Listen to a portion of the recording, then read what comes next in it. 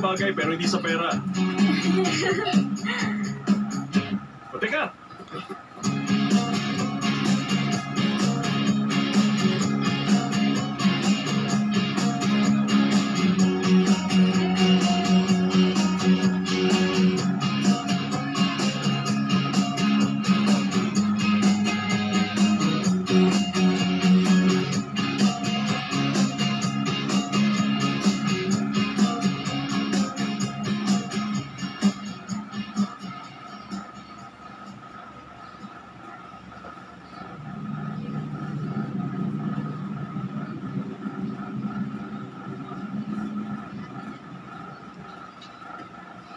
Nagdasal ka na ba? Apo, dalawang beses pa.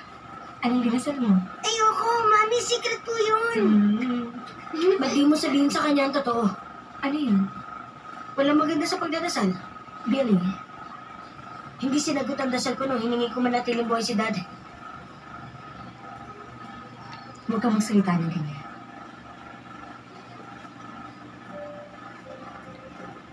Minsan nangyayari ng isang bagay sa buhay na mahirap ipaliwanag, Billy.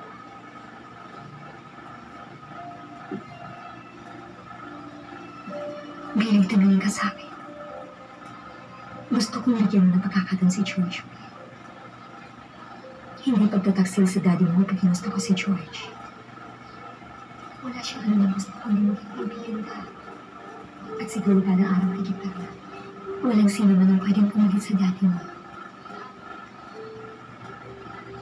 Pati sa inyo. Pati sa akin.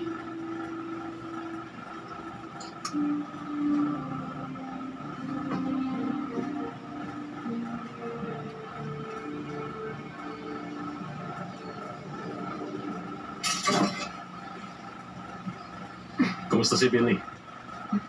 Okay naman siya. Oh, unang tawag natin. Sino kaya yan? Ako na. Lutz resident, sino po sila? Pwede ko bang makausap ang anak mo? Opo, uh, sandali lang, nandito na siya. Okay. Baka kung ano naman ang sabihin ng mama mo. Sa totoo lang, hiyang-hiya na ako sa kanya.